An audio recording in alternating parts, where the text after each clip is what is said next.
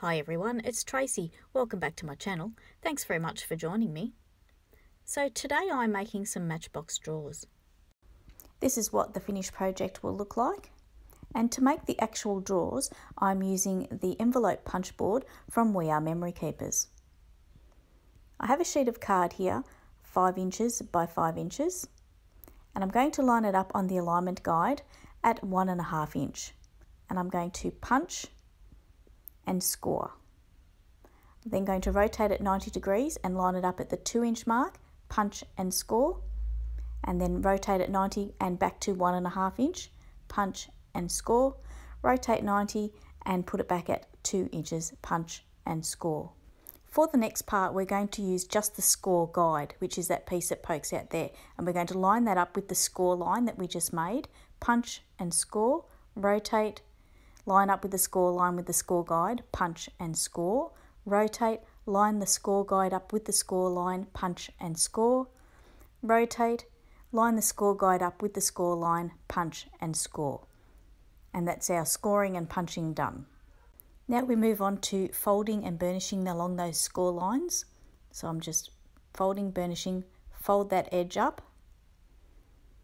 and burnish it, rotate it to the other side, fold that flap up, burnish it, fold it again. So we're just folding and burnishing all of the score lines.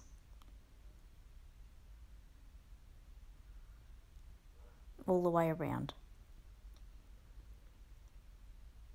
Once I've finished folding and burnishing along the score lines, I'm going to turn the piece so that those triangle pieces that you see there, the larger ones, are top and bottom, and I'm going to cut up to the score line. Then rotate it around and cut up to the score line again. Then cut little notches. This makes it easier to put those tabs in place. And this is creating the tabs so that we can fold the short ends where the smaller triangles are in when we're creating the box. I hope that makes sense. So I'm applying glue here to one of the tabs as I'm going to start constructing the box and gluing it together. So I glue that tab to the long side of the box on all four sides. You could use double-sided tape here, but I decided to use glue and I'm using Tombow Mono Adhesive Glue as I do like this glue, it's very strong, particularly for this sort of thing.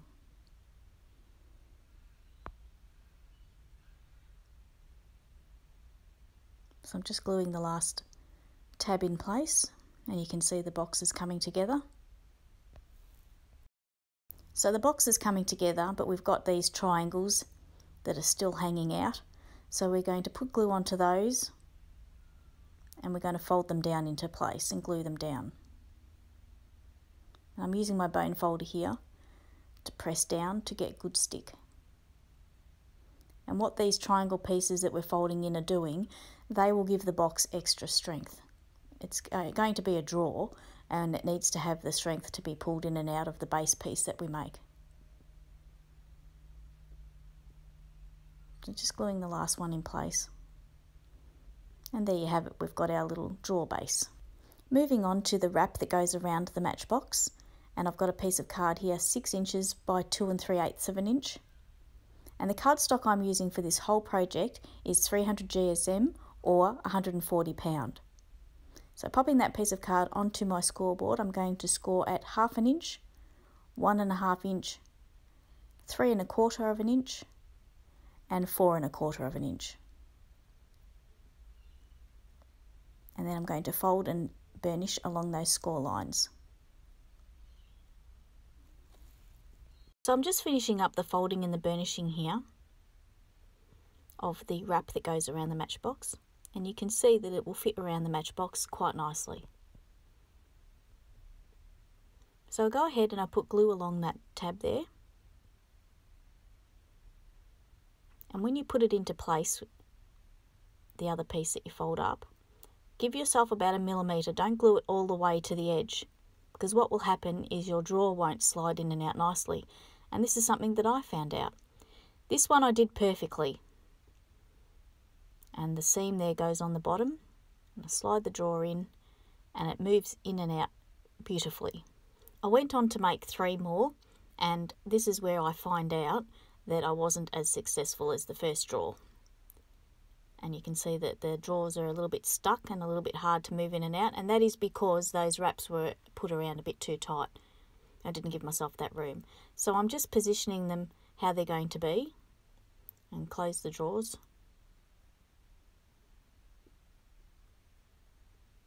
And this is the configuration of how it's going to look.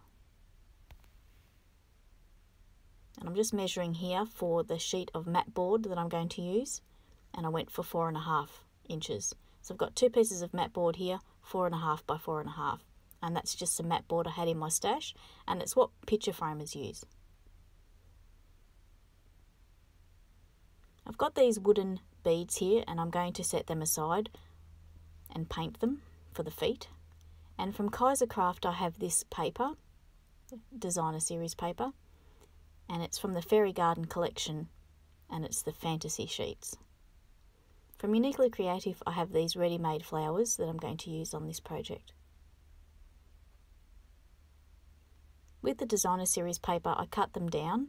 They're going to be the decorator pieces and for the top I've got a piece here four and a quarter by four and a quarter. These four pieces here measure one and a half by two and a quarter inch and they will go inside the drawer, the drawers as liner pieces. And then I've got these smaller pieces here. They measure 7 eighths of an inch by 1 and 5 sixteenths of an inch and they will go on the end of the drawer, the end that faces out. And I've got four pieces that go on the side, just one side of the matchbox, because you won't see the other side. And that measures 7 eighths of an inch by 2 and a quarter of an inch, and there's four of those. So I've gone ahead here and I've glued down all those lining pieces, the front of the drawer, the sides, and inside the box. Now only the front and one side of the boxes have the lining pieces because you don't see the other. And I've put it on the top as well. Now what I'm doing here is I'm getting ready to glue these boxes onto the base mat board piece and I flip them over and I'm using double-sided tape to hold the boxes together. And the reason why I'm doing this is to hold the boxes together whilst I'm gluing them down. I could glue them down one by one, but then knowing me, I probably wouldn't get it straight. So this helps keep the boxes in place and it assists with gluing them all down in place so that they're straight and even. So I'm just putting some more tape in the centre.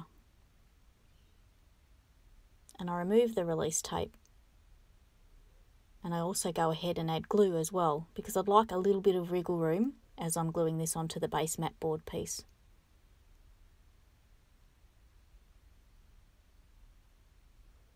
And I'll be quite generous with the glue here too. So I get the base piece of mat board and I put them down, the matchboxes down onto it. And I've got a little bit of wriggle room here to make sure that I get this straight and even and there's a little border around. Press that down in place making sure that the glue and the double-sided tape gets a good stick on that base piece of mat board.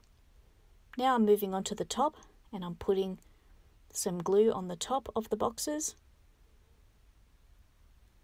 and I'll put the top piece of mat board in place. So I flip it over so that I can make sure that it's straight and in line with the base piece. So I'm just taking care to make sure that the top piece is stuck well and this is where I realised that I should have opened the drawers before I stuck the top on because the drawers don't have any handles yet and it can be a little bit tricky to open the drawers. But I managed to get them open with the help of a scoring tool. And I removed the drawers entirely because I'm going to now put the handles on. And I'm a little bit disappointed here because three of my drawers don't slide in and out easily. And I probably should have remade the covers, but never mind. So I've got the drawers up on their end and I've got these little brads from my stash. I've had them for ages. They've got a pearl in the middle of them and I thought they would match in quite nicely. And I'm using my punch here. I think it's a 1 eighth of an inch or one sixteenth even. It's very tiny anyway. So I go ahead and I eyeball where I'm going to punch the hole and I get the hole punched on all four drawers. And I go ahead and I put the brads in and they're going to be the handles.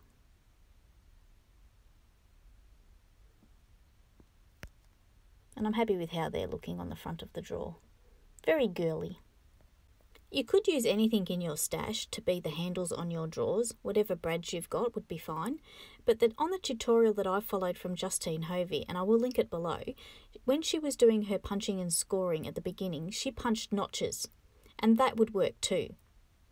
So here I am, I'm putting the drawers back into the base unit and I give them a try. There's that one drawer that works perfectly, the other three don't. On to decorating and I'd like to talk to you about this crystal katana tool. I have had many tools in my stash over the years to assist me in the picking up and putting down of pearls, rhinestones, sequins, etc. and I've never really been happy with what I've had. I heard a lot about the crystal katana and I wanted to give one a try so I bought one. And I have to tell you, it is fabulous. It picks up and puts down these little things just perfectly without any issues at all. So I highly recommend a crystal katana. So I went ahead here and I've glued down my flowers onto the top of the box. This is something that usually takes me a long time so I don't record it. And that's the, pretty much the top of the box done and I just have to glue the feet on. So here are the beads that I previously had painted off camera, just in white acrylic paint and I'm going to glue them on with my hot glue gun. You could use anything that you had in your stash for the feet. You could get creative. But I just used what I had. I made these drawers many, many years ago when I first made them, and I actually used matchboxes. A little bit smaller than what we've got here, but um, essentially the same but it was a lot of fun to actually make the matchboxes.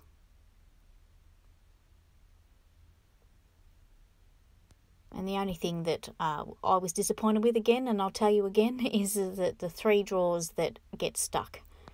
Um, you have to take care when you're putting your wrappers around your matchboxes that you give yourself enough room so that the drawers slide in and out easily. So here's my one drawer that, well, not that one. Here's my one drawer that slides in and out easily. The other three are a pain. So I learnt a lesson as well. And these drawers are quite cute and they will live in my craft room. But if you're a crafter that sends happy mail, this would be a lovely thing to send.